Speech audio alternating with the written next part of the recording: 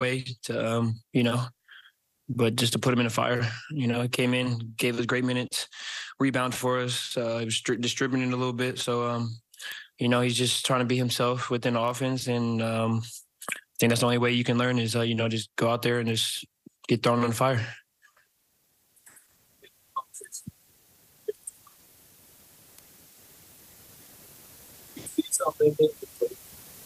similar to the way he kind of uh, everybody on this team impacts in different ways. Um, I just try to tell him to find his stitch and and also do the little things. We got guys that do the heavy loads, just come in, you know, try to make it easy for them.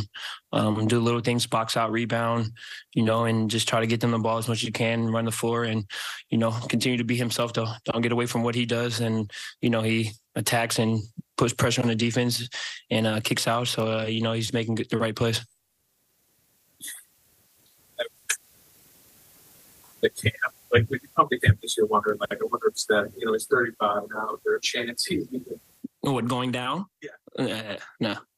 He said he, he said he's in his prime and he feels better than ever. So with Chris here, uh, that cuts, you know, half of what he's got to do, bringing up the ball and go and get it and get us into offense. So we got Chris. So about time fourth quarter comes late, uh, he's got energy. You know, he's still got energy to do what he does, and uh, I think that's just uh, another strength for us. You know, to have CP come in and control and be able to handle the ball and get guys where they got to be, and you know, let thirty just run around. Chris is fit, working quicker and better.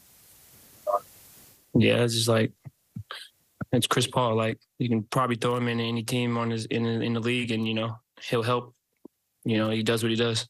He's a leader. Um, like I said, he's playmaker and gets guys organized, gets teams, talks to teams, defensive minded. So that's one thing I like about him. And me and him just talks about defense and, um, you know, and young guys follow. Moses been, you know, in the passing lanes and whatnot. And BP and Tracy's just talking to all the young guys and, you know, defensively and on the other side, you, we know what to do.